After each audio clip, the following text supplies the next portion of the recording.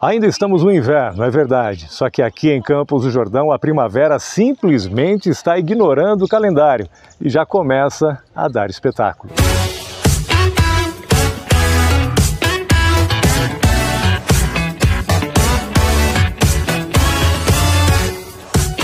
Fala pessoal, tudo bem? Bem-vindos ao meu canal no YouTube, Márcio Correia por aqui, apostos para mais um vídeo que hoje vai falar sobre a florada da cerejeira, esta árvore típica do Japão e que foi trazida aqui para Campos Jordão pelos imigrantes japoneses lá em meados do século passado e que desde então todos os anos dá um espetáculo belíssimo no finalzinho do inverno, já anunciando né, que a primavera se aproxima.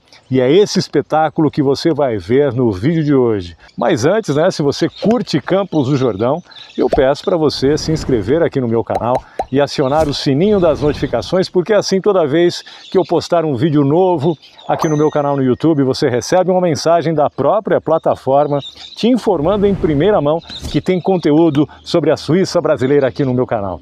Então inscreva-se, acione o sininho e vamos para o vídeo de hoje. Ainda no estacionamento já começa o espetáculo. Majestosas, as cerejeiras formam um abrigo colorido para os carros. Na entrada do parque dedicado a elas, mais árvores fazem a recepção. E é apenas o cartão de visitas, hein? Um aperitivo do que ainda está por vir. Alguns passos adiante e surge o palco das apresentações folclóricas, mas em 2021, pelo segundo ano consecutivo, a programação artística de música e dança da cultura japonesa foi cancelada devido à pandemia. As barracas de comidas típicas e as lojinhas de lembranças sequer foram montadas. Só o show da natureza não foi afetado pelo novo coronavírus.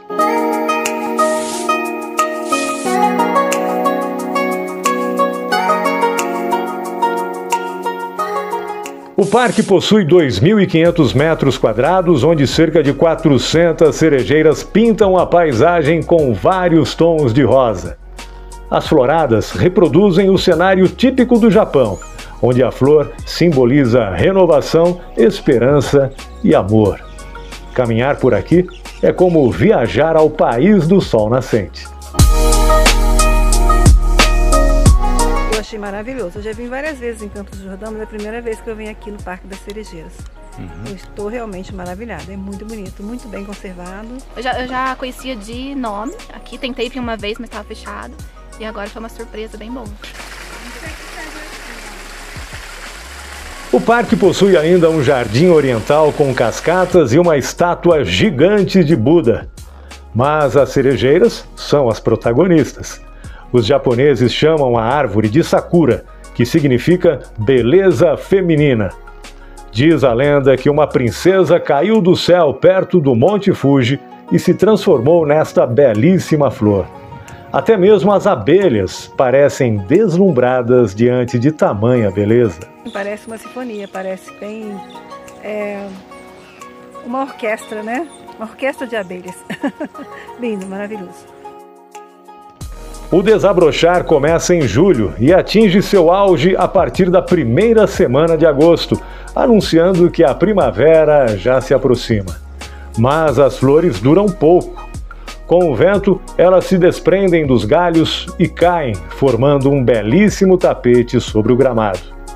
Assim, as cerejeiras ensinam que, como suas floradas, o tempo passa rápido demais. Por isso, os samurais, grandes apreciadores desta flor, tinham como lema viver o presente sem medo.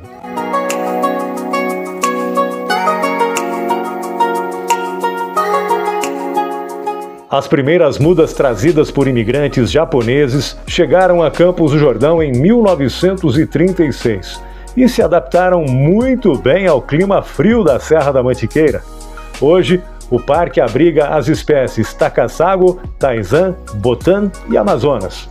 Atualmente, Campos do Jordão é a única cidade do Brasil onde as cerejeiras florescem efetivamente.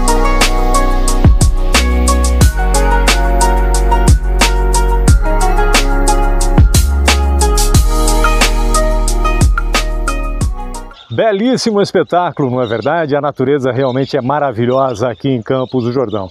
E aqui no Parque das Cerejeiras, apesar da festa ter sido suspensa por causa da pandemia do novo coronavírus, o parque está aberto ao público e para entrar aqui o ingresso custa 20 reais.